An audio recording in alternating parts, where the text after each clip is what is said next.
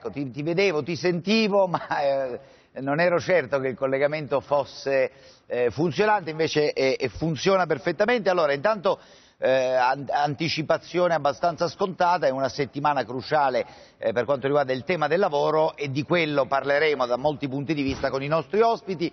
La formazione di oggi Antonio Macaluso che è il vice direttore del Corriere della Sera, poi c'è il senatore Augusto Minzolini di Forza Italia, fra poco arriverà l'onorevole Edoardo Fanucci del Partito Democratico, con noi ancora Elisabetta Piccolotti eh, di SEL e a Milano eh, l'economista eh, Claudio Borghi. Questa è la formazione. Eh, per quanto riguarda il tempo, avevo una curiosità. Mercoledì a Milano c'è il vertice, la conferenza europea sul lavoro e sul welfare. Che tempo si prevede mercoledì, Paolo? direi tempestoso, ma insomma una no. battuta perfino scontata. Ma diciamo che qualche pioggia, qualche pioggia ci può essere ancora, ancora mercoledì, sicuramente, quindi tenetene conto Va da bene. questo punto di vista. Grazie e buon lavoro. Va bene, eh, grazie Andrea. Io chiudo facendo vedere velocemente due foto che ci ha mandato Salvo, si eh, riferiscono alla giornata di eh, sabato e si riferiscono alla città di Catania, abbiamo parlato del maltempo al sud, Salvo mi ha mandato questa foto prima dicendo alluvione a Catania. E dico sì, questi sono allagamenti, non sono alluvioni, però poi me ne ha mandata un'altra che se è dello stesso giorno, eh, guardiamo l'altra immagine, eh, l'altra foto, se è dello stesso giorno qui veramente parliamo di qualcosa di diverso perché questi non sono allagamenti, guardate dove sono le macchine, non so, ripeto, se questa si riferisce a sabato, ma se si riferisce a sabato chiaramente la situazione era un pochino più che qualche allagamento che quando ci sono i temporali succedono, sono abbastanza normali. Se volete, se volete ci vediamo più tardi alla fine di Coffee Break 10.30, eh, 10.40 circa. Adesso Andrea Pancani, Omnibus.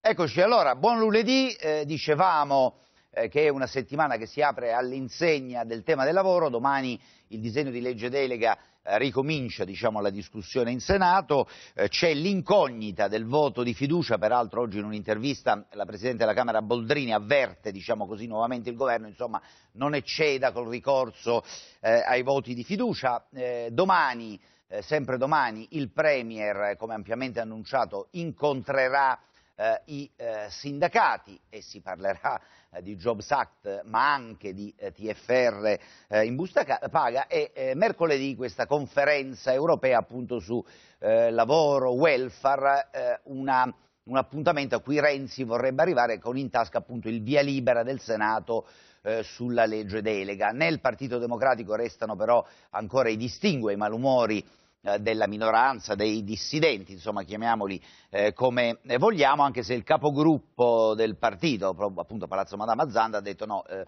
il gruppo è un gruppo maturo e alla fine vedrete che eh, il voto sarà compatto, meno ovviamente qualche eh, distinguo. Renzi ieri ha ripetuto che vorrebbe eh, il TFR in busta paga dal 2015, ci sono diverse soluzioni tecniche, diciamo così, eh, allo studio e anche questo sarà motivo insomma, di confronto con le cosiddette parti sociali. Buongiorno ad Antonio Macaluso, allora, vice direttore del Corriere della Sera.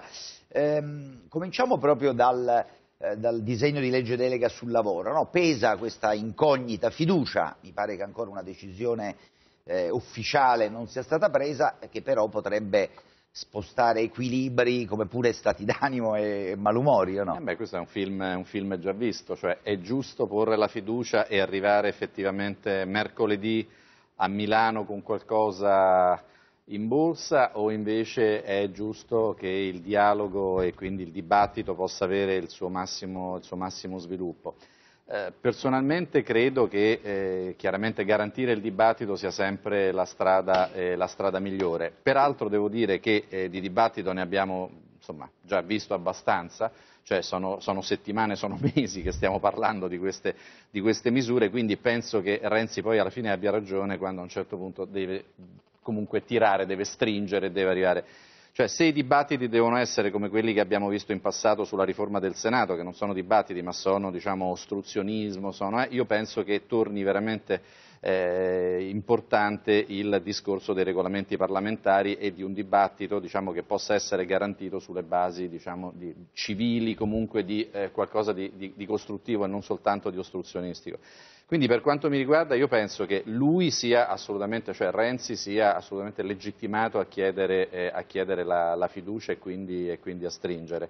Da questo, da questo, punto di vista perché penso che in questo momento effettivamente eh, eh, in cui l'Europa ancora sui giornali di questa mattina, tutti quanti, cioè il fatto che siamo no, più che osservati speciali ormai, diciamo, sì. siamo, siamo, con un piede a un passo diciamo, da, da, una sorta di commissariamento, eh, dimostrare che al di là delle, delle, parole, come ci hanno mille volte ricordato, riusciamo a fare anche qualcosa, a stringere, dopodiché possiamo discutere sul fatto se eh, questa riforma sia diciamo, risolutiva di una serie e di problemi. Altro certo eh, ma questo appunto è un altro discorso e magari ne parliamo dopo o meno. Comunque sia, comunque sia visto che sul tavolo c'è questo, intanto dico prendiamoci, prendiamoci questo. Quindi a semplificare diciamo, eh, all'estremo diciamo, Renzi eh, si presenta mercoledì a questa riunione con questo voto di fiducia eh, come dire all'Europa guardate su questo ci siamo riusciti e lì c'è in ballo la cosiddetta flessibilità, insomma poter eh, Esatto, cioè eh. qualcosa comincio a portare a casa, non sono mm. soltanto parole, almeno una parte del Parlamento, un pezzo del Parlamento,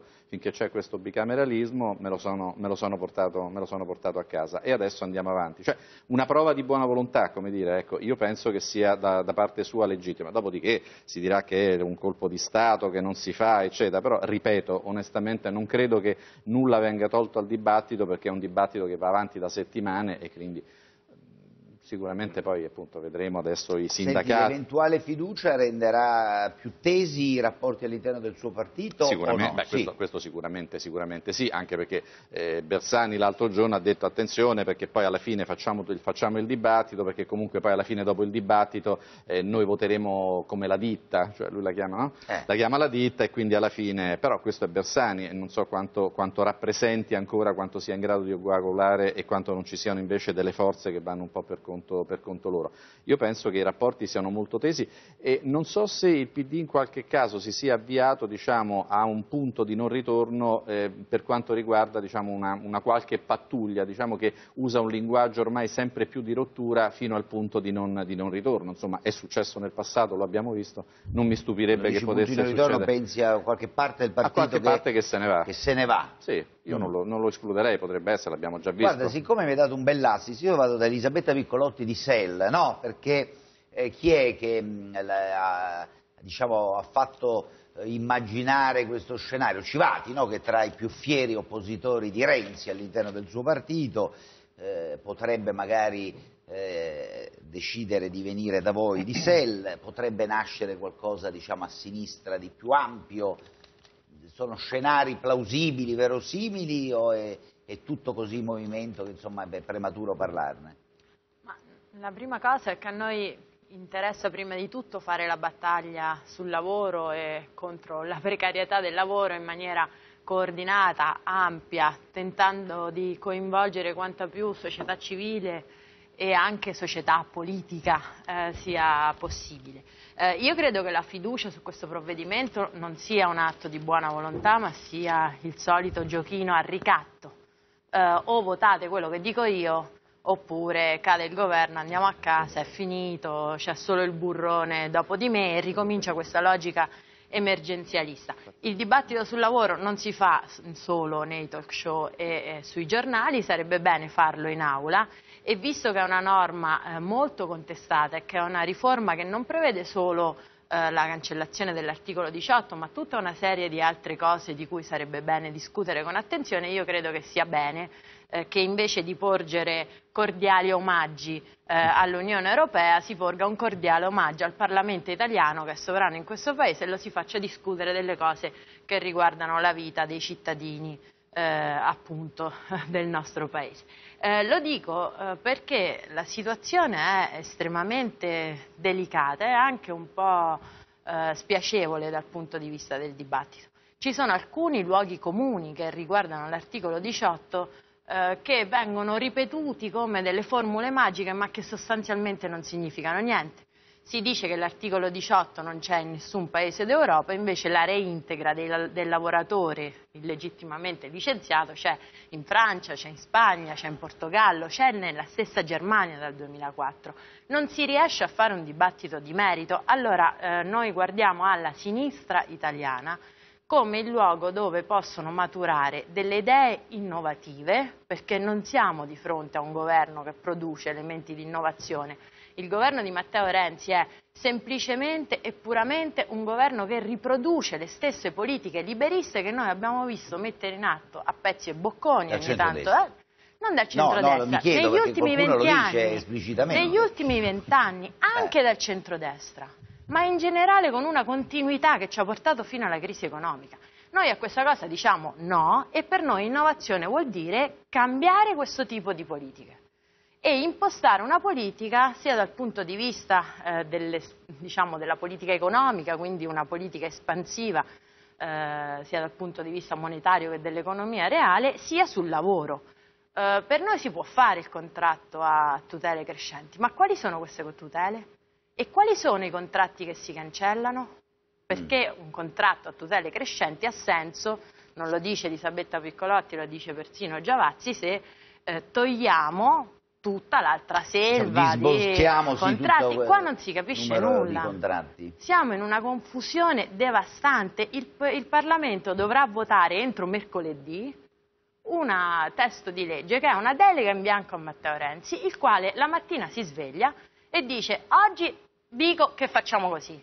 Domani mattina si sveglia, no faremo colà. Non si può discutere così, eh. Noi vogliamo vedere un testo, vogliamo sapere che cosa vuole fare perché parliamo di lavoro e parliamo della vita delle persone. Se parlassimo dei fatti nostri, vabbè, decide Renzi. Io Sì, credo ah, che questo paese sia sull'orlo del baratro, non solo perché l'Unione Europea ci guarda eh, da lontano e diciamo, ci vuole imporre i dogmi del rigore che non ha risolto la crisi economica in nessuna parte del mondo, infatti l'Europa sta come sta, diciamo, a differenza dell'America e di altri eh, continenti, ma ci vuole imporre di fare una eh, riforma eh, di cui non conosciamo nello specifico il contenuto, che serva a una cosa sola, abbassare i salari delle persone che lavorano in questo paese. Noi a questo diciamo no, perché non c'è TFR in busta paga che regga. Se si vuole che ripartano i consumi bisogna alzare i salari, non abbassarli. Sì. Eh, Questo peraltro mi pare con varie sfumature l'abbia detto però anche il Presidente del Consiglio in varie occasioni. Sì. Eh, buongiorno ad Augusto Minzolini. No, che- non- allora, eh, no, mi viene da sorridere perché tu ovviamente rispetto anche al tuo partito hai posizioni insomma, pubbliche e note spesso differenti, ma insomma siete sempre convinti dell'appoggio a Renzi sul Jobs Act, ammesso che resti quello insomma, eh, che più vi piace, no? per esempio l'articolo 18 dopo la, la direzione del PD è uscito eh, a detta di molti un po' anacquato rispetto alle posizioni diciamo, espresse dallo stesso Renzi. E voi che farete? Ma intanto guarda, se per caso c'è il- la fiducia, eh, quindi ci Eh. solleviamo Sì, dal certo. problema. Eh, io però sono d'accordo con quello che diceva prima la collega delle, di Rifondazione. Secondo me, Di Sel. di sé, Di sé, di sé. scusami, io sono... Sei rimasto Non è esattamente la stessa cosa. Però io parto da un presupposto, non credo che ci siano tante volte diciamo, dei precedenti per cui si è messa la fiducia su una legge delega. La legge delega è una legge in bianco, quindi già di per sé, credo che i telespettatori lo capiscono, è una cosa che non è... Cioè una grande cornice Dice, che va... eh, allora, non puoi mettere la fiducia su qualcosa che non è chiaro. Poi per quanto riguarda la vicenda in generale, io l'ho detto anche qui, non è che sono tanto appassionato all'articolo 18, lo dico francamente, io non penso che quella sia una delle priorità che possono davvero cambiare il corso diciamo, eh, del, eh, del Paese per quanto riguarda la crisi di governo. Pe- penso che ci sarebbero altre priorità ed è quello per cui io continuo ad avere dei dubbi sempre più crescenti rispetto all'azione del governo Renzi. In più ti dirò un'altra cosa rispetto a- alla vicenda adesso. Da questo punto di vista, parlare ora di fiducia mi dà tanto l'impressione, eh, lo dico, che in una riforma che è poco chiara, in cui rischia diciamo, di avere contenuti probabilmente anche diversi rispetto a quelli che doveva avere all'inizio, il punto centrale con cui Renzi tenta di dimostrare che è una riforma forte e profonda è proprio la polemica che si porta dietro. Cioè io creo polemiche non tanto per quello che ho dentro il provvedimento, ma perché polemizzando con Sell o polemizzando con la, mini, la minoranza del PD dimostro che quella è una grande riforma. Ma noi non stiamo più a questo punto, cioè noi abbiamo ormai, eh, in questo sono d'accordo, siamo veramente all'ultima spiaggia. Non, io non riesco eh, davvero a comprendere, partendo dal presupposto, ma non lo dico io, ieri lo diceva credo sul, sul Corriere o, o su Repubblica il eh, responsabile della General Motor Poli in Italia, che diceva che non è l'articolo 18 una delle priorità cui, che porta diciamo, gli investitori stranieri a, a venire in Italia. Allora, tutto questo, perché faccio questo discorso? Perché o noi ritorniamo veramente, tanto i tempi sono quelli che sono, a ehm, porci il problema di quali dovrebbero essere i, quei 3-4 punti su cui questo governo dovrebbe misurarsi con la crisi, o altrimenti noi rischiamo solamente di perdere tempo, tanto più che quando vedo che il documento di, eh, del DEF è quello che è, noi siamo passati con una grande, grande eh, crociata sui tagli della spesa pubblica che era partita da 16 miliardi quest'estate, abbiamo avuto un commissario, tutto quello, poi siamo passati a 13 e adesso stiamo a 5, 6. Cioè, capisci, questo non è serietà, perché quella è una priorità come una priorità il fisco. L'articolo 18 è una coperta per coprire quello che non si fa. Sì, se però Renzi ci riesce, si porta a casa questo primo sì, no, al vertice di mercoledì, però rispetto anche all'occhio d'Europa che ci guarda, lo ricordavamo, e come se siamo sorvegliati speciali, forse è un passo avanti. No, ho capito, ma io per sarei, avere un po' di risorse in più. Io no? rispetto a una cosa del genere, con l'Europa mi sarei diciamo, misurato, ad esempio, introducendo in maniera diciamo, più eh, complessiva i contratti aziendali. Quella è una cosa che ti dà grande flessibilità. Eh, su cui credo ci sarà Ma tutta quello, una discussione domani vedi, i. Su quello lo capisco, non lo capisco sull'articolo 18 perché lì veramente è una battaglia ideologica che poi se andiamo a vedere alla fine sarà talmente, diciamo, come i tagli alla spesa pubblica, declinata che alla fine non servirà a niente, servirà soltanto ad aver coperto con un dibattito pieno di polemiche squassando la sinistra, sì. un vuoto di proposta politica e di capacità di governo che è propria del governo Renzi. Allora Borghi, eccolo lì, Borghi, che salutiamo eh, e, che un po' insomma non avevamo ad Omnibus. Eh, allora, eh, che cosa, mm, qual è la sua riflessione? Cioè fa bene Renzi ad accelerare il più possibile per presentarsi appunto mercoledì a Milano eh, con in tasca già questo primo bottino o no? Me sembra che manchi a tutti un po' un pezzo, vale a dire nelle proposte che ho sentito fino adesso eh, non si tengono eh, per eh, un lato o per l'altro. Eh, perché? Vabbè, io con la mia storia faccio fatica a fare il difensore dell'articolo 18 perché in una maniera o nell'altra ho sempre detto che in tempi normali era dannoso, Uh, io stesso da dirigente non ho assunto in tempi normali, ripeto, tanta gente proprio perché eh, non, il dipendente poi dopo non si poteva più eh, quantomeno ridimensionare ma così guardi, via. Allora, ieri la Nokia allora ha licenziato 155 no. persone con no, una no, mail no, di ma notte. Sono, se, per favore, la, licenzia... Nokia, la, Nokia, la Nokia no, ha appena licenziato 155 sì, persone con so. una mail di notte dopo un mancato accordo con i sindacati. Per mi cui perdoni, in questo paese si può mi, licenziare mi perdoni, anche così. Mi perdoni, Sì, prima, di dire che, prima di dire che sto dicendo una cosa contro quello che lei pensa, mi lasci finire. No, una premessa, allora, eh, io stavo proprio dicendo che pur dato che nella mia storia faccio fatica a dire che io sono contro l'articolo 18, in questo momento sono contrissimo, non so che altra Benissimo. maniera dire per poter eh, Ma io placare contestavo il fatto che in eh, Italia non si della, possa della signora licenziare. eh, sono, sono, assolutamente contro questo tipo di dibattito e, so, e soprattutto contro toccare l'articolo 18 perché eh, non ci si rende conto che siamo in una situazione emergenziale. Quindi supponiamo che io consideri che l'articolo 18 sia una cosa brutta. È equivalente a dire che bere fa bene. Sono due affermazioni che dal mio punto di vista posso considerare corretti. Però se bere fa bene, ma se in questo momento io sto avendo davanti una persona che annega, di sicuro il fatto di dargli un bicchierino d'acqua eh, non credo che eh, sia esattamente quello che c'è bisogno di fare. Se uno annega ha bisogno di una mano, non ha bisogno di un bicchiere d'acqua, eppure bere fa bene, eh, quindi da quel lato lì direi che ci siamo.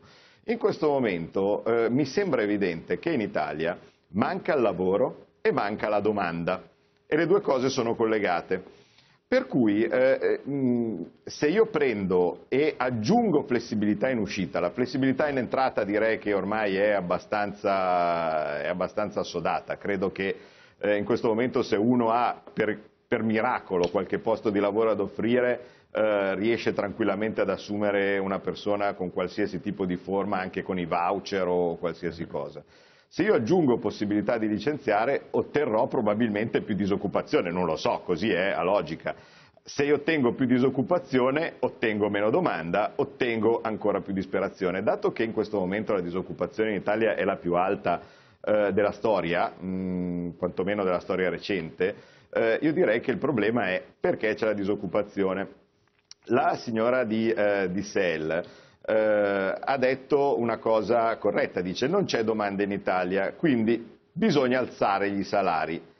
È vero, però sappiamo benissimo, e qui arriva il fatto che non si tiene il tavolo, che se io alzo i salari, già adesso ho un problema di competitività, divento ancora meno competitivo e quindi cosa succede? Succede che ci saranno ancora più aziende che non riusciranno a, a, a lavorare.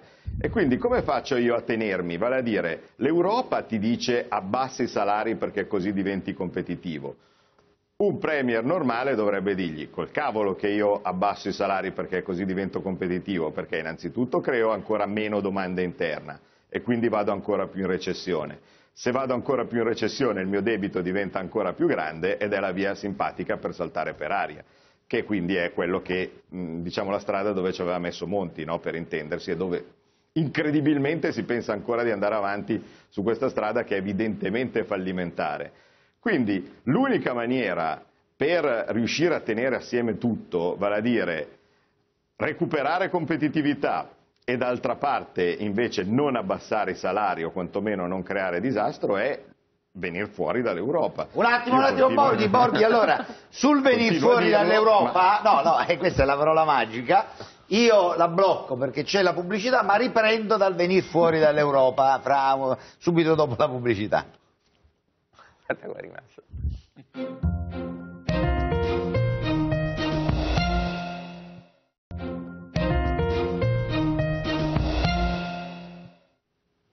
Allora, ho promesso quest'altra domanda a Borghi, intanto saluto Edoardo Fanucci che ci ha raggiunti, eh, ovviamente essendo esponente non solo del Partito Democratico ma di eh, assoluta fede renziana, diciamo così, gli possiamo chiedere alcune cose di cui già abbiamo eh, parlato all'inizio, però voglio sapere una cosa da Borghi, secca, ma l'Italia doveva fare come la Francia l'altro giorno, cioè dire a noi del 3% in fondo in questo momento non ci importa, eh, abbiamo bisogno di risorse in deficit, diciamola così, e quindi o accettate la cosa oppure ve ne farete una ragione, cari europei, cara Germania. È questo che dovevamo fare? Eh, beh, posto che sarebbe meglio di altre cose, ma in ogni caso non è assolutamente risolutivo perché bisogna sistemare gli squilibri interni all'Europa.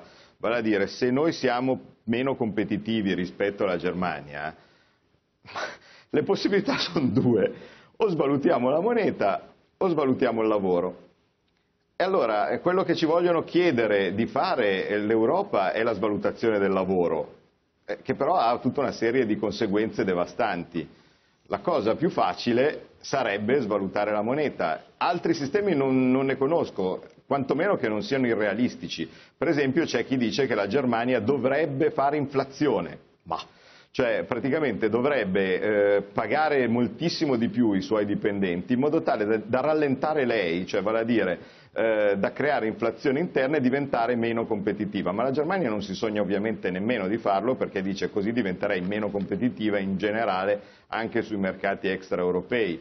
Per cui se noi in questo momento miracolosamente cominciassimo a spendere in deficit no, e così via, la gente comprerebbe prodotti stranieri L'austerità che ci hanno fatto fare eh, fino adesso aveva un obiettivo, non certo spero il risanamento dei conti perché si è visto subito che era una idiozia totale, no?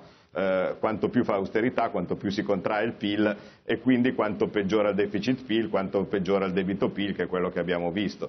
Quindi io penso, penso, spero che l'austerità che ci hanno fatto fare servisse esclusivamente per pareggiare la bilancia dei pagamenti, vale a dire farci importare di meno, che è un sistema criminale ma efficace dal mio punto di vista. Se noi in questo momento cominciamo a dimenticarci l'austerità e spendiamo di più, eh, importeremmo di più e quindi si, aumenta, si allargherebbe il deficit della bilancia dei pagamenti e saremmo esattamente punto a capo. Chi lo paga questo deficit? Per cui l'unica maniera per far tenere tutto, e qualcuno in casa PD se ne sta accorgendo, eh, con colpevolissimo e grave ritardo, ma se noi guardiamo per esempio le interviste di Fassina dice chiaramente cos'è il problema. Eh, dice che in questo momento in, mancanza di riallineamento interno degli equilibri in Europa e si può fare soltanto in quella maniera lì, eh, a quel punto poi dopo bisogna pensare a una disgregazione controllata dell'euro perché così com'è non si tiene. Prima ce ne rendiamo conto e meno perdiamo tempo. Sì, Fanucci, allora eh, abbiamo parlato ovviamente molto del, del, tema del giorno che è fiducia sì o fiducia no sulla legge delega sul lavoro eh, per Renzi metterla forse vorrebbe dire presentarsi mercoledì a Milano al vertice europeo con qualcosa in tasca di più concreto, ma potrebbe agitare ulteriormente il suo partito, peraltro eh, questo forse non lo abbiamo detto, ma eh, ieri c'è stata un'intervista a Matteo Richetti che di Renzi è stato un fedelissimo fin dalla prima ora, insomma con accenni critici a Renzi, soprattutto alla cosiddetta annuncite, no? Che succede? Le critiche fanno parte della democrazia, è normale, noi siamo un, un, paese democratico, viviamo addirittura noi in un partito democratico a differenza di altri e di conseguenza il dissenso fa parte del gioco. È chiaro che poi un partito serio deve fare sintesi, assumersi la responsabilità di questa sintesi è il compito di un leader, un vero leader che da tempo mancava alla sinistra italiana, al centro-sinistra. Matteo Renzi si fa carico di questo, se ne fa carico con la responsabilità che gli è riconosciuta non solo in Italia ma anche in Europa e questo chiaramente attira dissenso, contrarietà.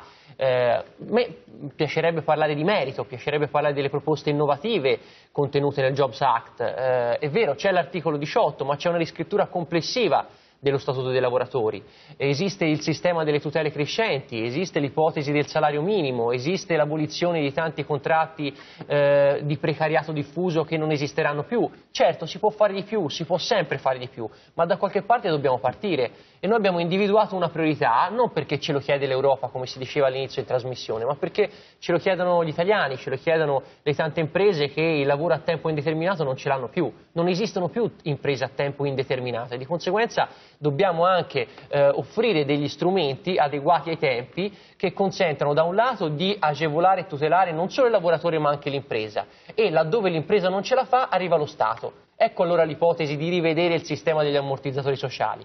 Certo, costa moltissimo, è impegnativo, dovremo chiedere il supporto anche dell'Europa in questo processo di riforma. Lo ha fatto la Germania, lo ricordavamo con Augusto qualche tempo fa, l'altra settimana. Eh, bene, lo faremo anche noi, ci, ci, siamo arrivati in ritardo, ci siamo arrivati in un momento dove effettivamente il clima generale non ci aiuta, viviamo una recessione diffusa, eh, tutto eh, va contro eh, le politiche di crescita e di sviluppo, esistono le guerre nel Medio Oriente, c'è una crisi diffusa che riguarda purtroppo anche l'Europa, in particolar modo l'Europa, e allora cerchiamo di dare un senso a questa eh, ipotesi di questo lavoro di governo eh, e anche il, il, ragionamento sulla fiducia, è un ragionamento che mi appassiona fino a un certo punto.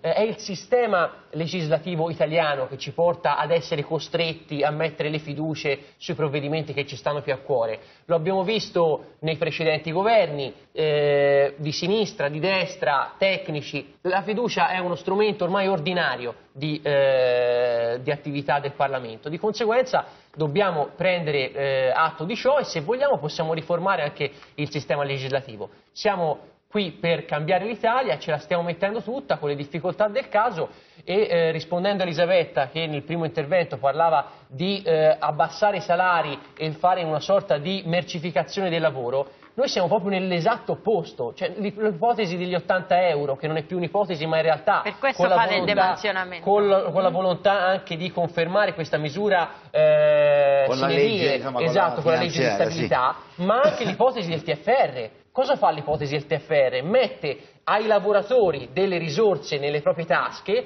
che, risorse che sono già dei lavoratori, però non erano nelle loro tasche, si finanziavano le imprese con queste, con queste risorse. Allora l'idea è mettere un po' di soldi in tasca degli italiani, cercare di riattivare i consumi, riattivare la fiducia anche in questo Paese, dall'altro lato però compensando le aziende per questi chiaramente minori finanziamenti, garantendo le aziende con la Cassa Depositi e Prestiti, con i soldi della BCE, laddove questo sarà possibile, di continuare ad andare avanti senza avere assolutamente nessun maleficio da questa azione. Eh, l'incontro di domani con i sindacati sarà un incontro diciamo, dove ci sarà della ciccia o sarà un incontro più simbolico in vista anche del vertice di mercoledì? Insomma, c'è la volontà di trovare intesa su qualche punto o no?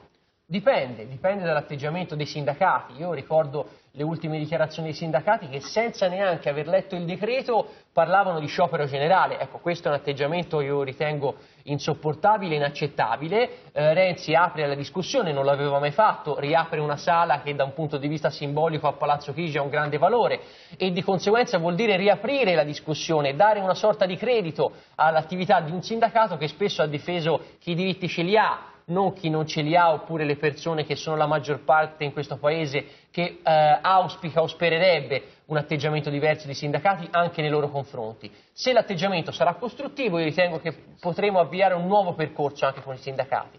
Se l'atteggiamento, come è stato in questi mesi, sarà solamente distruttivo, allora in quel caso ha ragione Renzi, noi andiamo avanti, andiamo avanti anche senza i sindacati. Mm. No, nel senso non è che lui entra, riapre la sala verde dicendo prendere o lasciare, perché no, questo no, è vera, il vero... Ma dipende dagli atteggiamenti. Minzolini che dice più o meno... No. Posso, eh, Andrea, cioè, certe sì, volte no, dice, il sindacato ci ha attaccati senza neanche leggere i testi, ora non è una battuta, però certe volte leggere i testi del governo Renzi è un po' complicato perché non ci sono.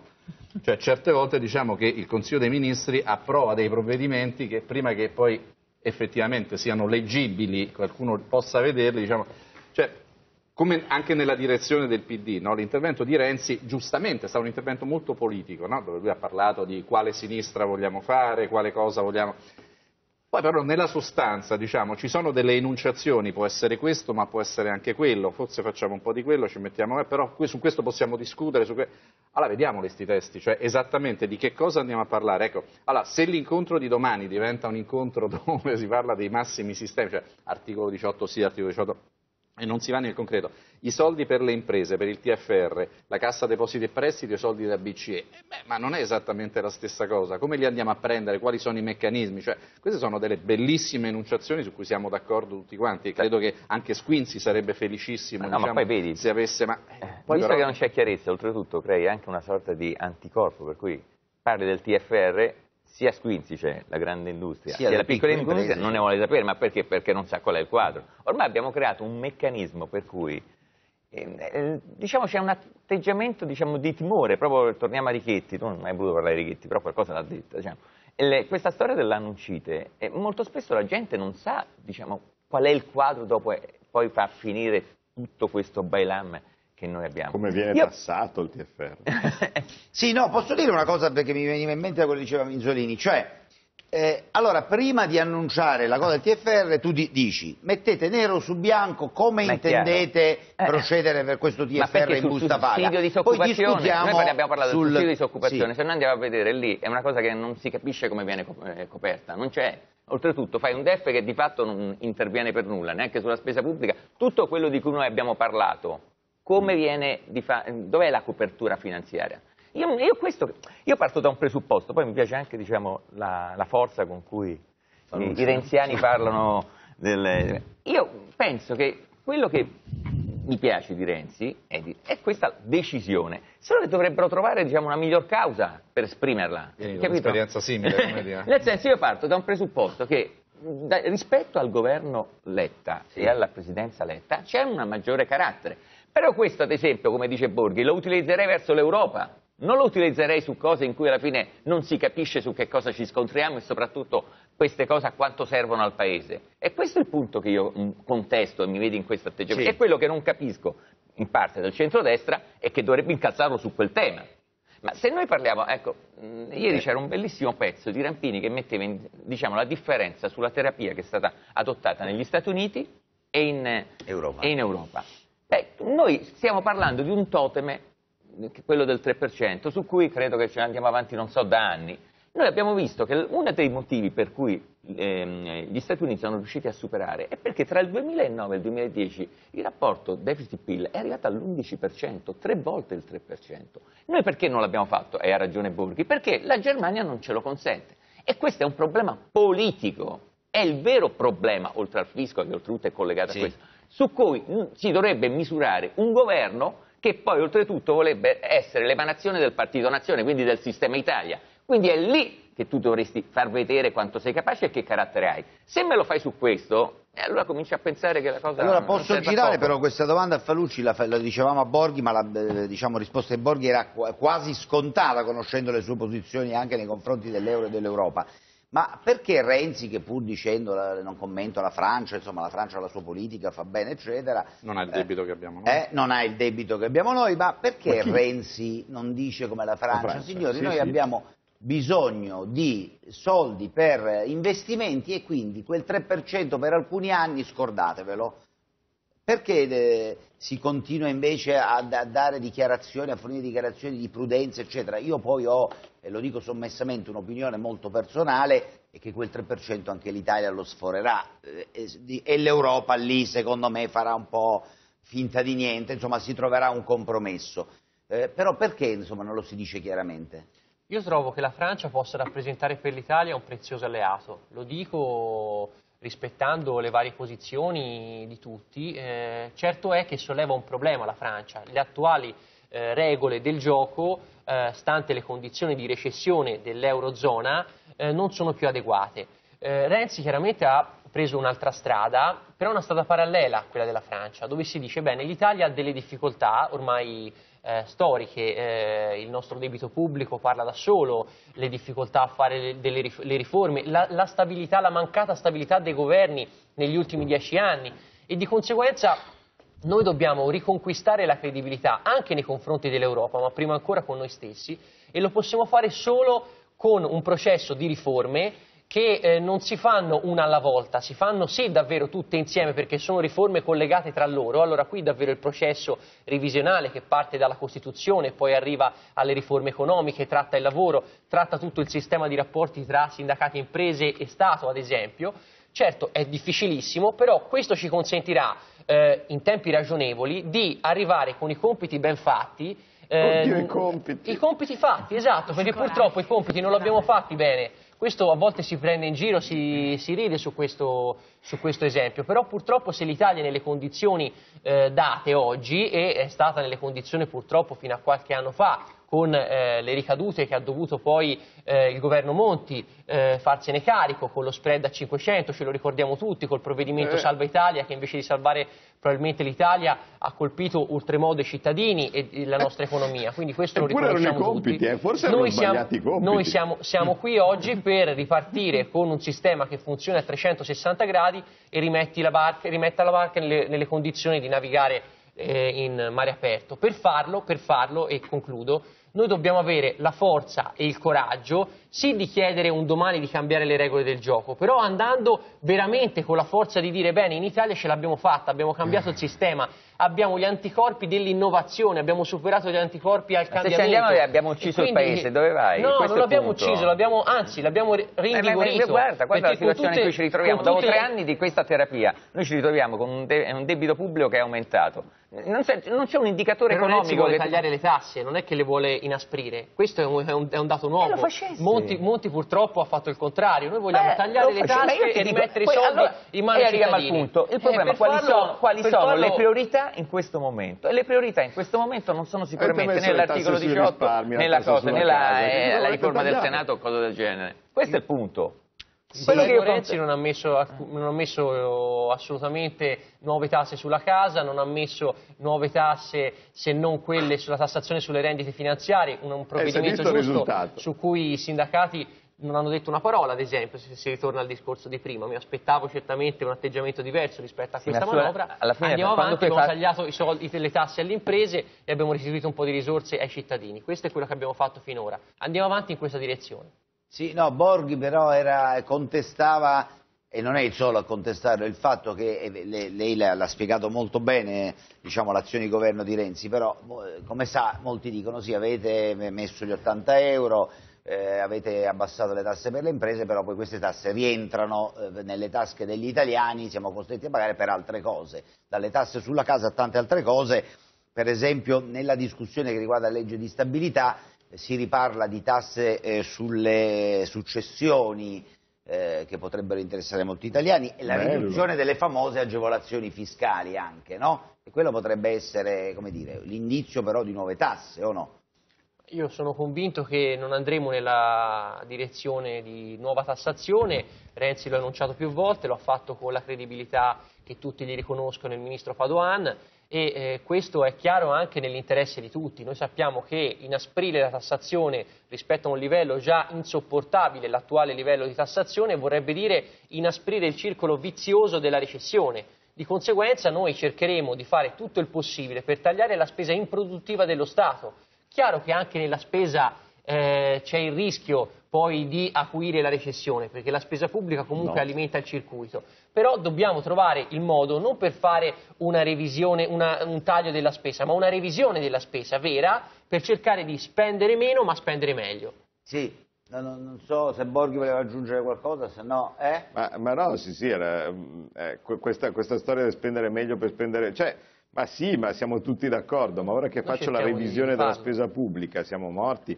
Eh, il, eh, in questo caso, come giustamente veniva ricordato prima, nel momento stesso in cui c'è una crisi o una recessione, eh, gli strumenti per venirne fuori sono soltanto due, abbassare fortemente le tasse, non ridistribuire, perché fin in questo momento, nel caso non ve ne siete accorti, la gente eh, gli 80 euro non li spende perché dall'altra parte è lì che non sa neanche che cosa sarà il bollettino della Tasi che gli arriverà a casa. Eh, non sa neanche cosa sarà la Tari, la Luke, eh, lì, cose di questo tipo, cioè tutte cose eh, incredibili e che abbiamo visto finora oltretutto neanche portano gettito, perché in questo momento voi avete, seguendo eh, in maniera assolutamente sconsiderata i consigli di Davide Serra che è, eh, che è parte in causa di questa situazione perché ha interessi propri personali contrari a quelli dell'Italia, avendo un fondo eh, non in Italia e quindi quanto più scappano i risparmi Stiamo dall'Italia quanto più lui è contento. Avete raddoppiato, triplicato le tasse sui risparmi eh, e il risultato cosa è stato? Minor gettito, quindi neanche portate a casa più soldi, fate soltanto fastidio alla gente. Ma soprattutto eh, la cosa incredibile che sembra che non passi no, qua come, come concetto è che se anche io mi mettessi a dare più soldi in giro alla gente, in modo drammatico, non si sa bene come, non potremmo mai fare come gli Stati Uniti. Non potremo mai perché tutti gli altri paesi del- dell'Europa, la Spagna, il Portogallo, che pure hanno fatto i compiti, eh, perché io quando ogni volta che sento i compiti mi viene l'orticaria, se sono sbagliati i compiti io non li devo fare. Quindi il Portogallo ha fatto tutto quello che veniva da fare, ha privatizzato tutto, si è venduto anche chissà che cosa. Non mi risulta che in questo momento sia il paese più florido del mondo. Se nei paesi OXE, che quindi è una rilevazione che comprende tutto il mondo, gli unici, gli unici, quelli che hanno disoccupazione a doppia cifra sono quelli dell'area euro, evidentemente qualcuno qualche problemino se lo deve porre. L'America ha potuto andare a deficit, vale a dire contrastare eh, il ciclo, cosa che normalmente si fa perché se sei in recessione devi abbassare le tasse e spendere di più, però aveva una BCE che stampava e ricopriva tutto e soprattutto non aveva nessun problema di finanziamento. Non- nessuno ha mai messo in discussione eh, la solidità del debito pubblico eh, americano, che pure è esattamente come il nostro come proporzione. Non, ci sono tro- non è tanto differente il debito pubblico americano rispetto al nostro, eh. così come il debito giapponese, per esempio, è molto superiore al nostro. Nessuno l'ha mai contestato. Perché? Perché loro hanno sovranità monetaria. Finché noi non pestiamo la testa contro questo, contro questo argomento, forse non andiamo avanti da nessuna parte. Se la gente volesse stoppare, se l'Europa volesse stoppare il tentativo francese eh, di, eh, di- di- di andare a deficit, basta che le- la banca centrale dica, "Ah, vabbè, ma allora io non, non- non garantisco più il debito francese così come ha fatto con, con la Grecia e questi vanno a carte 48 in una settimana. Pubblicità, pubblicità.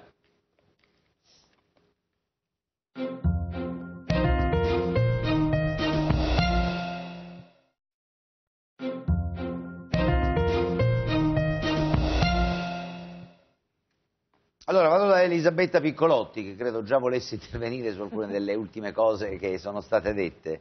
Sì, no, la prima cosa è un giochino sui compiti a casa Sì. eh, che riprendo da Borghi questa volta.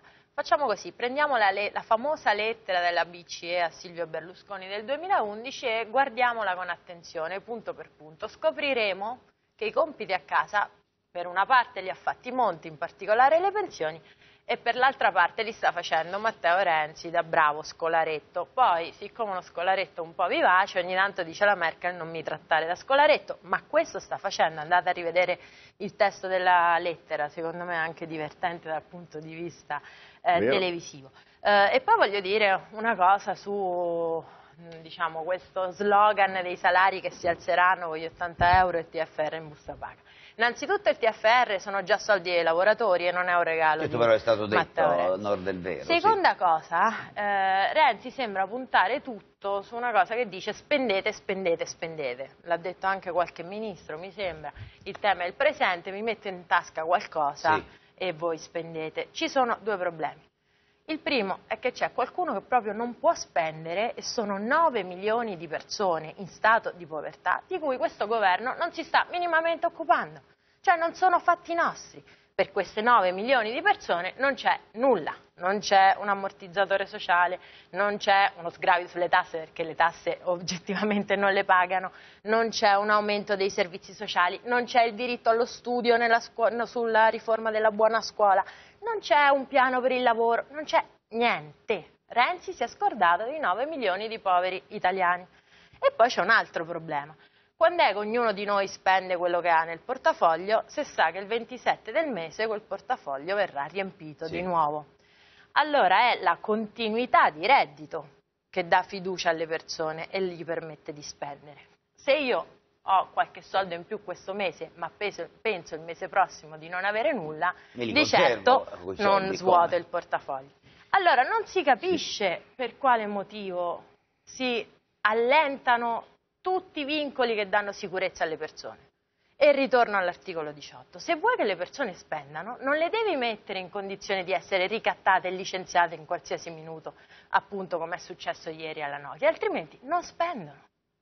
Se vuoi che le persone spendano, non puoi dire che forse è un'ipotesi, anche qui io voglio discutere delle cose vere, non delle ipotesi fantasiose. Forse allarghiamo un po' il sussidio di disoccupazione. A chi? Di quanto? Per quali soggetti?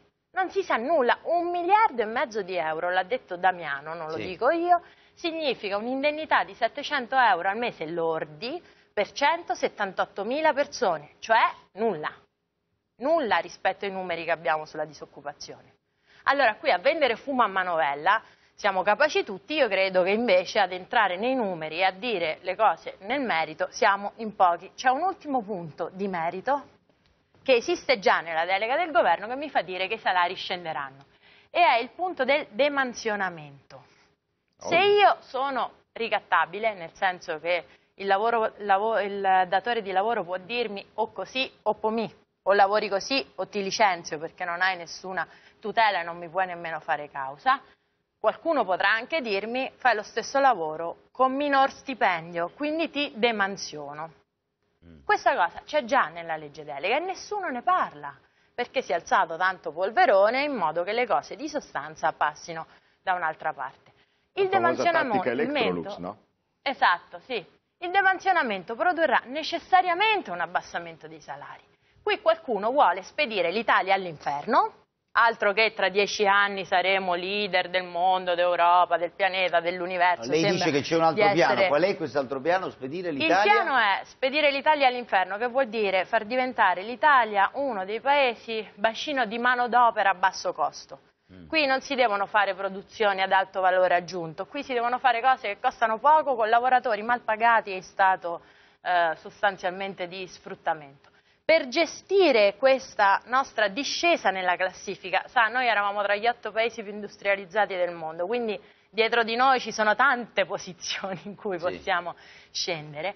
Per gestire questa discesa si fanno due cose. Innanzitutto si distrugge lo statuto dei lavoratori che è un oggettivo impedimento alla logica di ribasso salariale.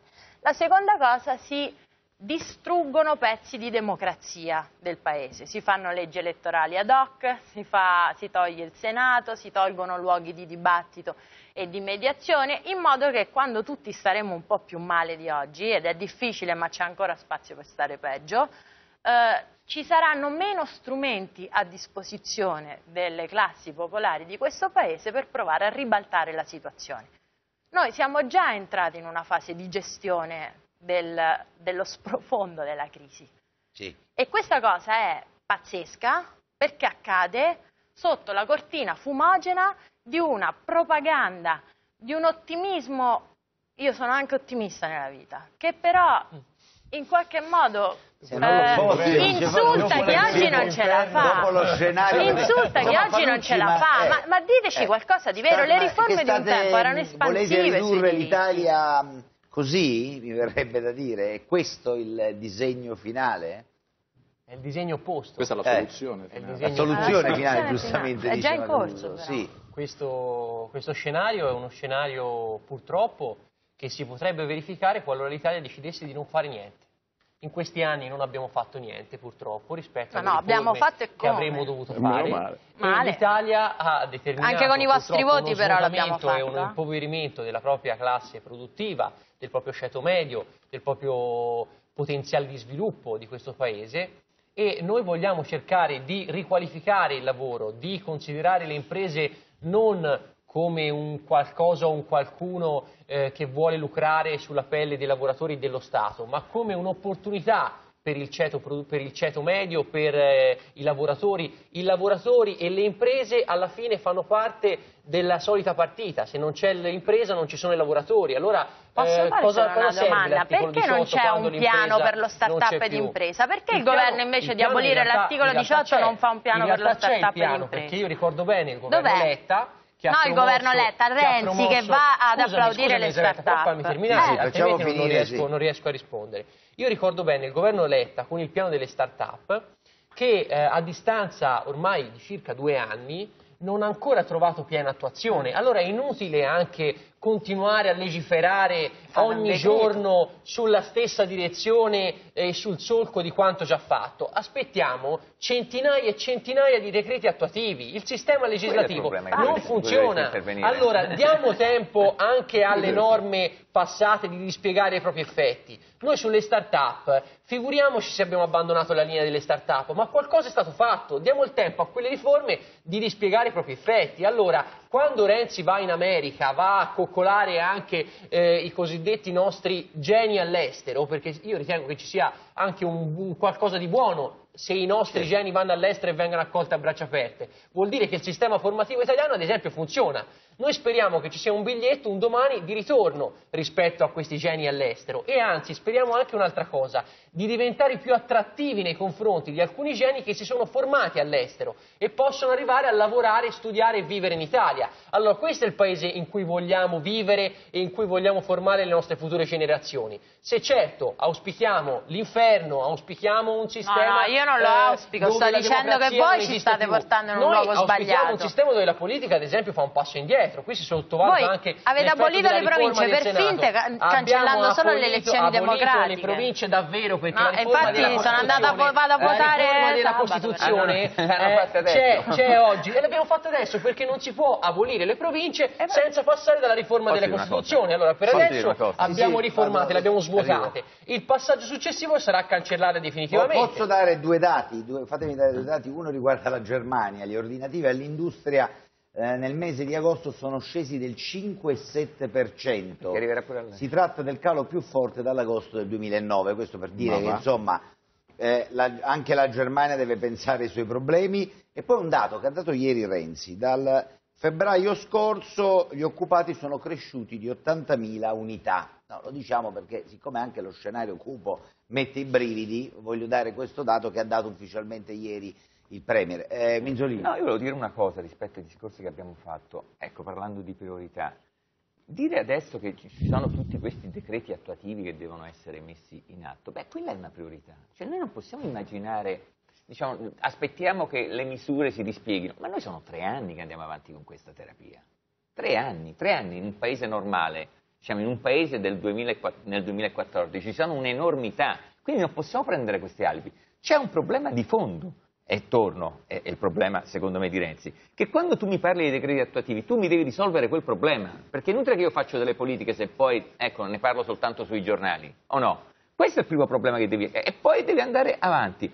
Se mi fai discorsi ad esempio sul Senato, ma il Senato non è che lì si è posto soltanto un problema semplice, invece di fare, ed è stata la, la diatriba, di farli nominare come è successo con le province, che nessuno sa nulla, in cui diventa veramente l'apoteosi della casta, perché questo è, fallo nominare, falli eleggere dai cittadini, che mi sembra la cosa più normale di questo mondo, o no?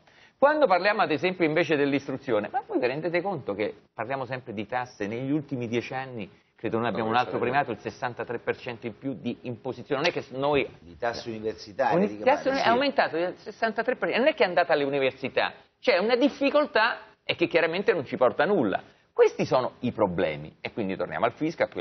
Quello che io non vedo nella prospettiva di Renzi è qualcosa, ti ho detto, che sia assolutamente coniugabile direttamente con i tempi necessari con la crisi di questo Paese. Sì, eh, no, non, non, devo dire, ovviamente difendere Renzi, però c'è un passaggio di Fanucci che alcune di queste cose le spiega, cioè dice queste riforme stanno insieme, tutte insieme, perciò bisognava farle tutte insieme, che naturalmente provoca Adesso, visto che il nuovo alleato, serie di... Allora, eh. non, so, non sai che sono d'accordo su tutto con Marchionne, no, certo. ma visto che loro vanno d'accordo, appena un mese fa Marchionne aveva detto la cosa più saggia di questo mondo, scegliene tre sì. a Renzi, e fai poi... quelle e poi vediamo il resto. È quello che chiedo io, perché se ne facciamo tante e non ne facciamo nessuna, noi non facciamo nessuna riforma. Arriveremo a primavera in cui il Presidente del Consiglio potrà dire volevo fare questo, volevo cambiare il Paese, non me l'hanno fatto fare e andremo al voto, perché questo è il punto. È una cosa, sentito, ma è una cosa talmente diciamo, evidente, perché se tu mi fai un documento economico come questo e rinvii tutto con clausole di salvaguardia, per cui adesso lo riduco nelle spese e poi già so che ho la tassa per cui nel 2015 è l'IVA, via dicendo, significa che tu che cosa stai creando? Una situazione favorevole se per caso debba andare al voto in primavera, perché non è che stringo e quindi faccio un'operazione di questo tipo. Ma non stiamo a questo, cioè nella fase che noi stiamo attraversando, in questo sono d'accordo con voi, noi siamo veramente all'ultima spiaggia. Allora, o noi ci facciamo sentire, e dico che il primo nostro interlocutore è l'Europa, e allora ha un senso. Altrimenti quello che noi ci diciamo qui saranno tante piccole puntate di un calvario che finirà soltanto diciamo, con la fine di questo paese. Mm. Eh, Minzolini, però... Molto cupo anche lo scenario di Minzolini. Beh, perché non vedo reazione. È un lunedì faticoso questo. Eh, Borghi e poi devo andare da Macaluso. No, ecco, l'unica cosa che vorrei che fosse ben chiara a tutti, che sì, noi possiamo anche farci sentire in Europa, ma sono nostri avversari. Esatto. Cioè questo che il compitismo, cioè il, il, profeta del compito a casa continua a non capire. In realtà non, sono, non c'è un rapporto fra insegnante e no. alunno tale per cui eh, a questo punto il lavoro dell'insegnante è spiegare le cose all'alunno. Sono nostri concorrenti, è il calciatore che deve tirare il rigore e il portiere se il calciatore che deve tirare il rigore ti dice di buttarti a destra e magari anche di prendere un po' il palo con la testa, eh, eh, non è che noi dobbiamo farlo perché lui che è di successo ci ha detto di fare così. Eh, lui siamo... ci dice buttarci sulla destra e colpirà sulla sinistra. La Germania in questo momento, questo dato che, eh, che Pancani ha dato prima, eh, può darsi che poi ci dirà di eh, chiudere un occhio effettivamente sul deficit e così via, perché perché il fatto che stia marcendo l'intero continente europeo per il solo e unico scopo di far rientrare la Germania dai suoi crediti, eh, perché alla fine la motivazione di fondo di tutta questa austerità europea è solo quella e, e quindi già qui si capisce l'assurdità di dover fare i compiti a casa. Noi stiamo facendo delle cose che danneggiano eh, la, la nostra, profondamente il nostro tessuto sociale, la nostra industria, per far rientrare dai crediti la Germania.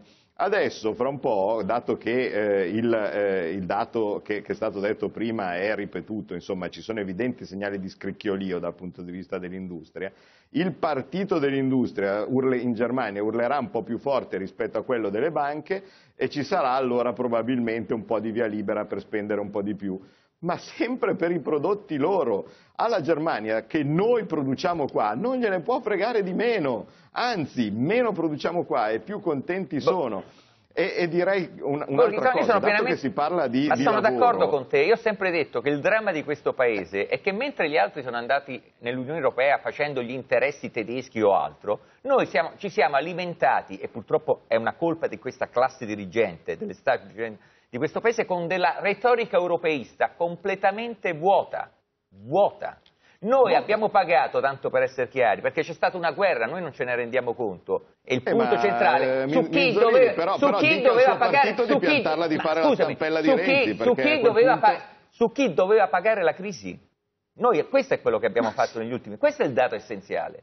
E io su quello non, ho dubbi. Il problema che c'è stato dello spread sulla vicenda del governo Berlusconi, se vogliamo riparlare, nasce da quello, non è che nasce da altro, perché se tu mi metti 500 miliardi di debito, diciamo, di botti italiani, eh, come ha fatto la Deutsche Bank all'epoca, sul mercato, è evidente che tu mi, mi aumenti lo spread, è talmente Conosco ovvio, è banale, no? ecco, Ecco, questo così. è il punto. Purtroppo, purtroppo noi continuiamo, ed è un dramma di questa, mentre i tedeschi non hanno questo problema, la Merkel non ha problemi a dirti a me non interessa, fai così. Noi abbiamo continuato ad avere questa retorica, retorica che ci ha accompagnato da quanto abbiamo aderito, da quando siamo andati a concordare come dovevamo entrare nell'euro. Eh, eh, eh, adesso poi vado da mm, Fanucci, voglio chiedere a Macaluso, e qui c'è il concetto di interesse nazionale, diciamo, che è stato riportato. Sì, certo. Peraltro il tuo giornale è stato tutt'altro che tenero, insomma, le ha dato una botta con eh, l'articolo del tuo direttore, no? Te- qualche eh, giorno fa a Renzi, insomma, molto severa.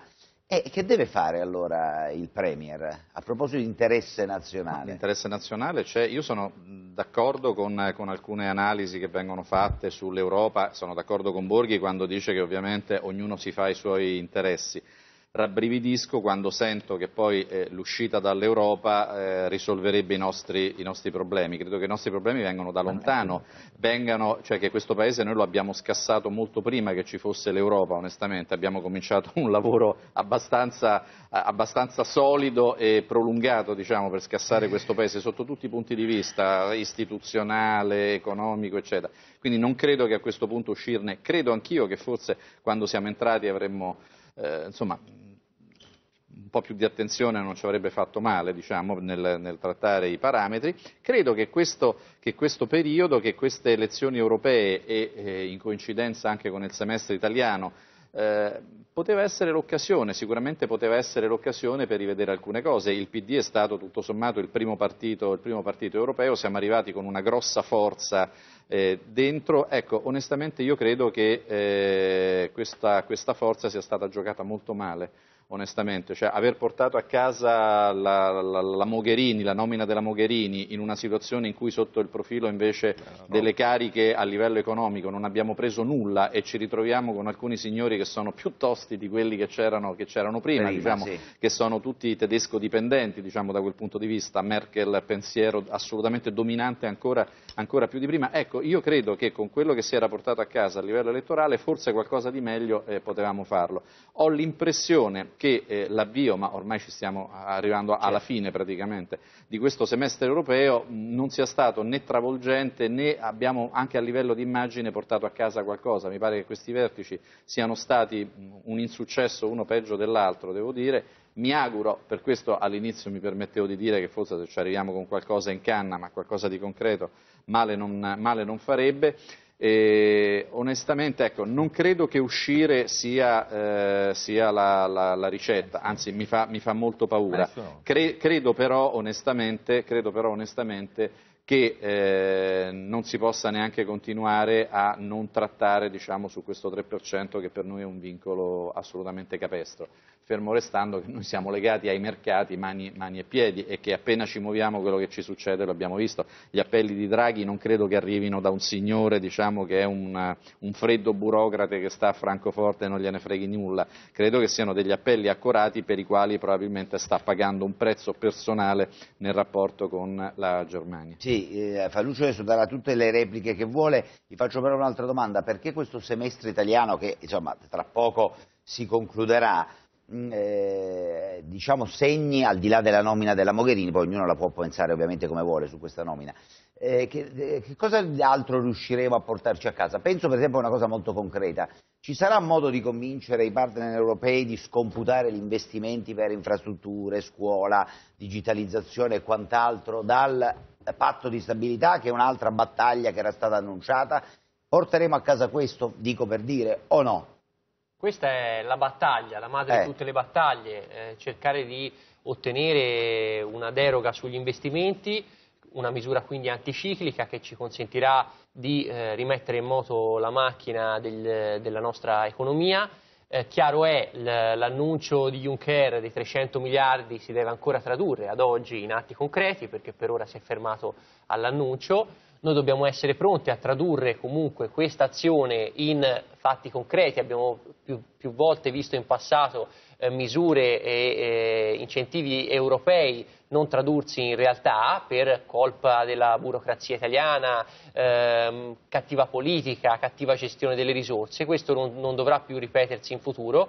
Dobbiamo garantire attraverso un processo legislativo eh, che sia facile anche da attuare e concretamente realizzabile, eh, già ora anche senza avere queste risorse, cioè con quello che abbiamo dobbiamo inserirsi in un meccanismo più semplice, meno burocrazia, meno vincoli, meno Stato, più impresa. Allora se facciamo così sono convinto che qualora queste risorse eh, arrivassero davvero, e, e lo auspichiamo tutti, riusciremo davvero a invertire il senso di marcia. Voglio però replicare eh, a Borghi su eh, un tema che lo caratterizza anche eh, è legittimo dal suo punto di vista perché è coerente con quello che ha sempre espresso, che in Europa siamo tutti avversari. Questo è un suo assunto, oggi lo ha ripetuto.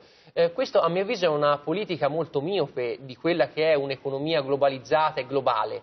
Eh, se eh, l'Italia e la Francia vanno male, va male anche per la Germania. Questo è un dato di fatto, anche i dati sull'industria della Germania dipenderanno in parte certamente dalla eh, crisi in Ucraina e i rapporti con eh, la Russia. Certo, questo influisce, ma influisce il fatto che se l'Europa va male, i paesi europei sono legati l'uno all'altro. Certo. Quindi non è una, una questione di filosofia o di eh, idealità. Sì, ci piacerebbe questione... stare male come i tedeschi, eh, Ah, magari questo, a stare questo male sì, però i io tedeschi. voglio, voglio cercare di far passare il messaggio quando dicevo che la Francia è un nostro alleato anche in questa battaglia per cercare di far ripartire la macchina dell'economia, è che noi se riusciamo a eh, condividere azioni comuni, gli alleati possono diventare la nostra forza, possiamo eh, fare una battaglia contro le politiche, ad esempio della Cina, dell'India, del Medio Oriente, cioè possiamo davvero cercare di eh, rafforzare le nostre strategie e se davvero queste strategie diventeranno comuni riusciremo a vincere la battaglia. Se ognuno pensa comune. al proprio orticello e si pensa di risolvere il problema come si faceva vent'anni fa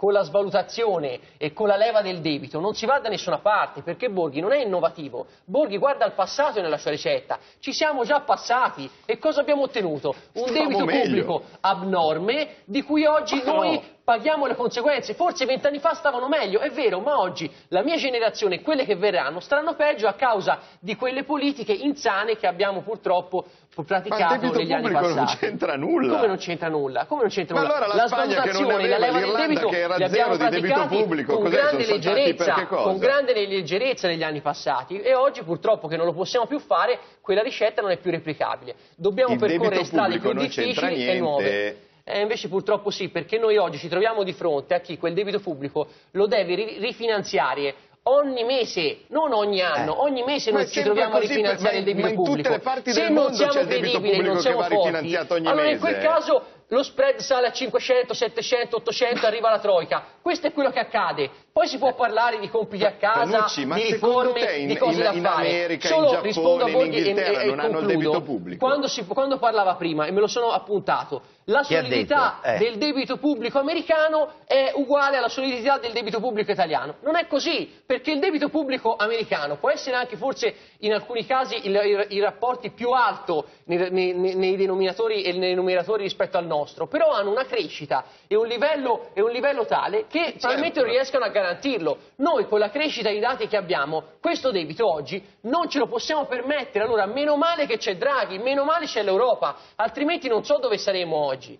Fanucci, il debito non si garantisce con la crescita, semmai si ripaga con la Eh, ho crescita. eh. E questo, se non si ripaga con la crescita, cosa perché si se ripaga? io, se io cresco sale il denominatore e, e però l'Europa non ci fa È crescere sulla perché per ricetta, crescere è bisogna sulla avere ricetta per tornare a avere crescere che non siamo d'accordo. Il debito si garantisce con la banca centrale.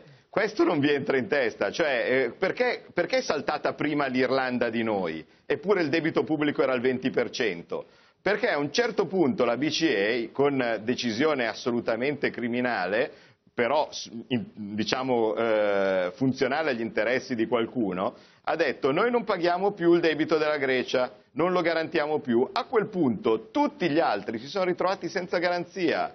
Quindi non è che noi siamo saltati per aria perché avevamo il debito pubblico delle generazioni precedenti. Da che mondo è mondo, in tutte le parti del mondo, il debito, che sia tanto, che sia poco, si rinnova ogni mese. E oltretutto, sempre in un mondo normale, in teoria gli interessi che si pagano sul debito dovrebbero essere pari all'inflazione.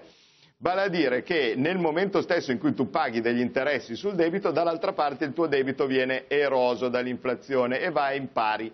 Noi siamo riusciti nel, nell'incredibile eh, eh, impresa di riuscire a far diventare una cosa che era normalmente per definizione risk free, vale a dire priva di rischio, un asset rischioso, cioè in Europa siamo riusciti anche a fare questo, cioè vale a dire far diventare il debito pubblico rischioso. In Giappone, ripeto, c'è il 250% di debito, debito interno, hanno tsunami, eh, hanno Fukushima, hanno ogni tipo di cosa che normalmente in una situazione, se fosse successo qua in un paese europeo, quello che è successo a loro, sarebbero, non dico con lo spread a 500, ma con lo spread a 5000, invece lo spread è zero.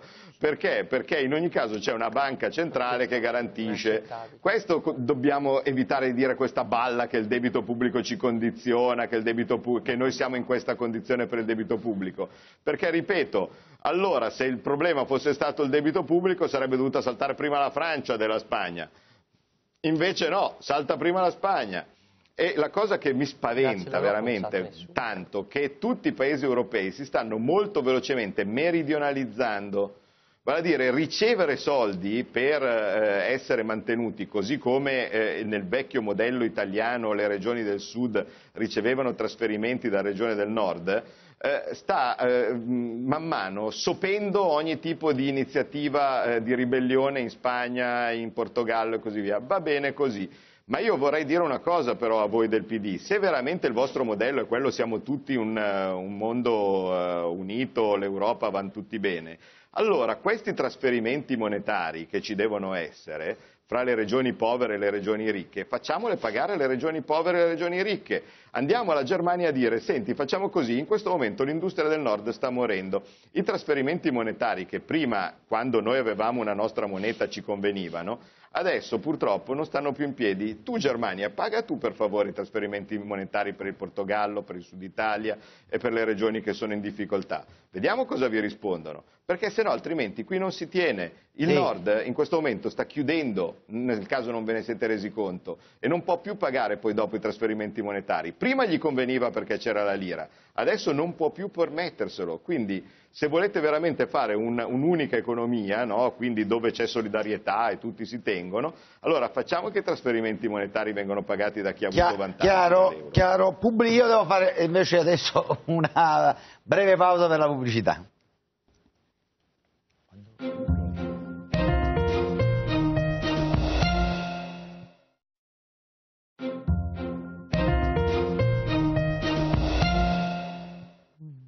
Allora, sull'Europa Elisabetta Viccolotti, credo. Ma solo una battuta, anch'io credo che uscire dall'Europa sia un'impresa a rischio altissimo, francamente tenterei la strada del cambiamento eh, dell'Europa. Denunciamo da anni che non c'è democrazia, sovranità in questo eh, continente, non si capisce perché anche qui tutte le riforme che potessero togliere un po' di strapotere ai governi nazionali non sono mai state fatte. E su questo voglio dire che il confronto non è solo fra governi di diversi stati, eh, per cui diciamo, la dinamica descrive benissimo Borghi. In Europa c'è anche un confronto fra partiti. Allora, io segnalo che uno dei problemi maggiori di questa gestione dell'austerità è stato che eh, lo strumento di questa gestione è stata la, la, le larghe intese, ovunque, ovvero un accordo fra eh, il Partito Socialista Europeo e eh, i popolari. Ovunque si è manifestato eh, un accordo politico di questo tipo si sono portate avanti quelle politiche che la Merkel eh, diciamo, sponsorizza e di cui è la capostipite e si è indebolita una visione alternativa eh, dell'Europa. In alcuni paesi come la Grecia è accaduto proprio che questo è coinciso con un eh, suicidio eh, del partito corrispondente del PASOK al socialismo europeo. In altri paesi la dinamica è stata eh, diversa, eh, ma comunque le larghe intese sono sempre state lo strumento di gestione dell'impoverimento eh, del, del, quadro. E credo che il governo Renzi, anche se è evidente che il peso di Alfano continua a diminuire, ma questo dialogo del patto del Nazareno con Forza Italia, che comunque si manifesta ad ogni decisione eh, fondamentale, dimostri che sul eh, rispetto dei compiti a casa eh, c'è un sentire comune sì. eh, di fondo che a me spaventa molto. La sinistra in Italia e in Europa dovrebbe eh, rianimare se stessa, per tornare alla domanda che mi faceva all'inizio, dovrebbe eh, trovare un senso, un perché esattamente nella rottura con queste politiche e quindi nella costruzione di coalizioni e scenari di tipo diverso eh, io non sopporto eh, la discussione che dice PD sì, PD no, ogni volta diciamo, il tema della sinistra è solo che tipo di alleanze fai, se le fai o non le fai.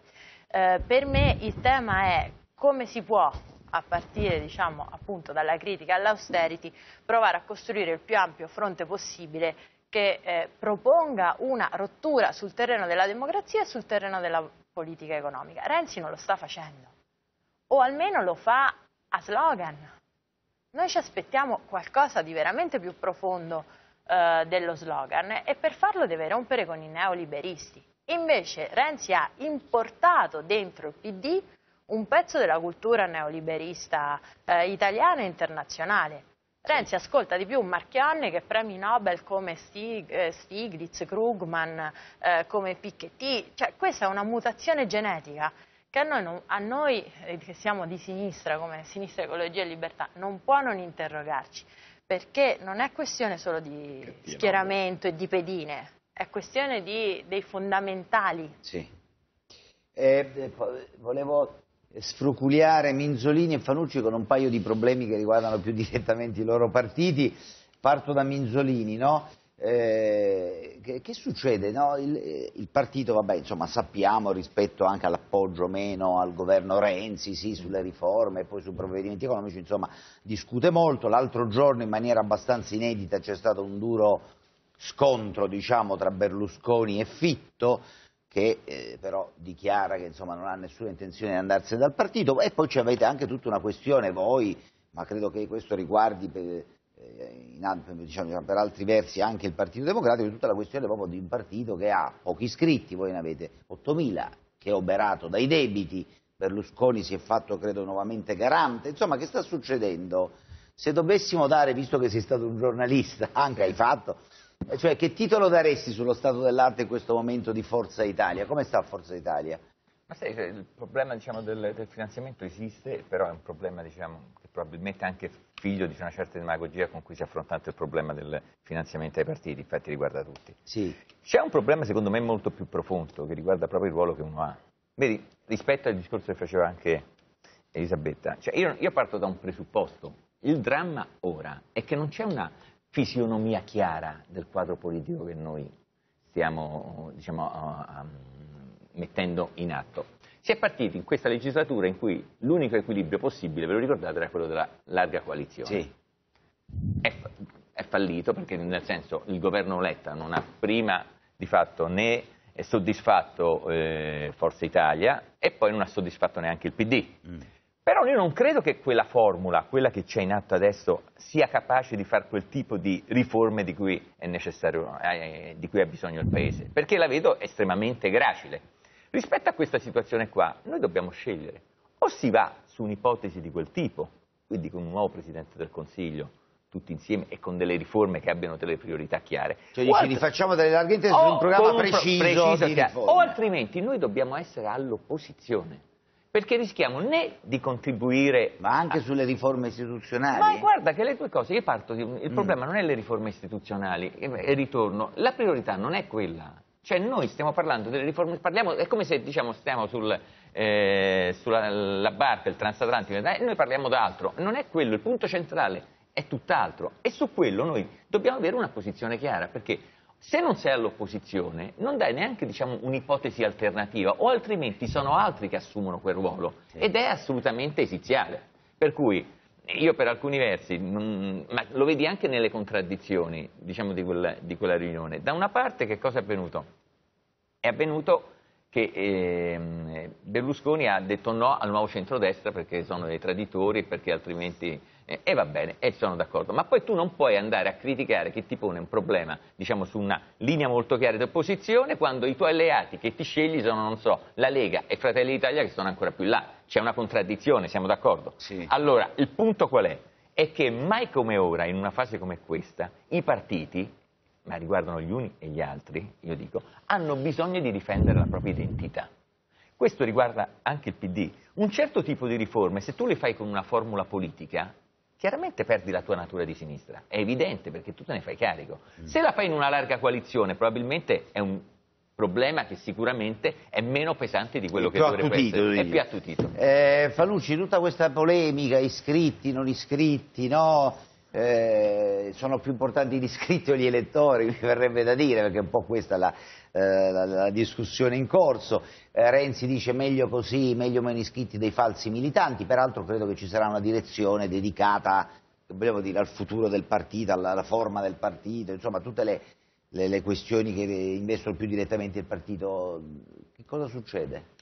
Storicamente dopo un congresso eh, è normale che ci sia un fisiologico eh, una fisiologica lentezza nel rifare la tessera, eh, poi devo anche essere onesto, lo dico da iscritto, le tessere sono arrivate tardissimo quest'anno, sono arrivate a giugno inoltrato, quindi eh, il problema oggettivo e anche pratico eh, nel rifare la tessera ha coinvolto migliaia di iscritti. Detto questo, e eh, sono convinto che il problema sarà notevolmente ridimensionato a fine anno, quando chiaramente avremo oh, dato modo a tutti gli iscritti di riprendere la tessera e arriveremo circa, eh, ha parlato il vice segretario Guerini, a 300.000, superando la soglia eh, dei 300.000, che è una soglia oltre che psicologica molto importante, visti anche gli 8.000 eh, iscritti eh, di Forza Italia no, e gli altri pochi iscritti degli altri, de, degli altri, partiti in Italia. Noi siamo l'unico partito che si può definire eh, tale in Italia, siamo un partito che è riuscito a mettere Insomma, insieme il passato, il passato e il futuro. Sarei curioso di sapere davvero quanti iscritti alla Lega, ma al di là del termine numerico non conta il termine numerico, conta, conta lo spirito, esatto, vabbè, dico, no, dico non torna, conta la comunità, il senso di comunità.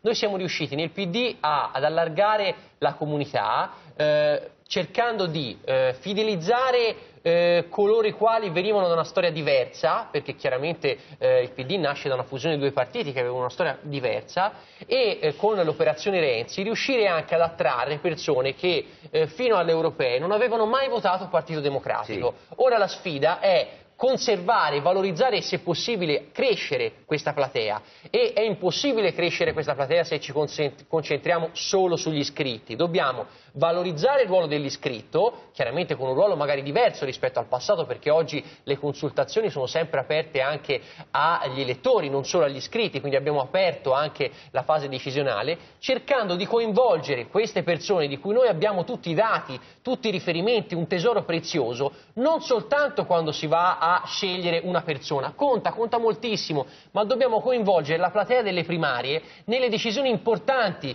che muovono questo partito. Sì. Allora questo sì è il nostro intento. Eh, l'ultima battuta con Macaluso, che poi insomma è sulla scia di quello che ho chiesto adesso, per esempio nelle primarie del centro-sinistra, no? in Calabria no? ci sarà l'elezione poi al nuovo governatore, ha vinto, ha vinto il candidato di Bersani. Bersani Oliverio era Callipo il candidato renziano, è il segnale di qualcosa secondo te o la Calabria fa, come si dice, fa storia Ma a parte? No, non credo che sia né, né storia a parte né credo, sicuramente ci sono, ci sono, dei mal di pancia, non credo che la situazione sia al limite del, del ribaltamento, credo che le logiche sì. locali poi sono sempre molto, sono sempre molto complesse insomma. E poi bisogna vedere in questo momento che cosa significa essere bersaniano sì, o renziano. Adesso questo per semplicità lo eh, diciamo. Eh, no? sì. Esatto, esatto. Quindi, però onestamente non credo che ci sia una crisi da questo, da questo, punto, da questo punto, di vista. Mm. Non...